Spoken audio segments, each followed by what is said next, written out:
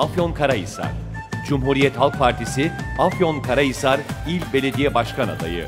Doktor Mehmet Ali Ecer, 1966 Afyonkarahisar doğumlu. Doktor. Doktor Mehmet Ali Ecer'le varlık içinde, birlik içinde, özgür biçimde bir Afyonkarahisar.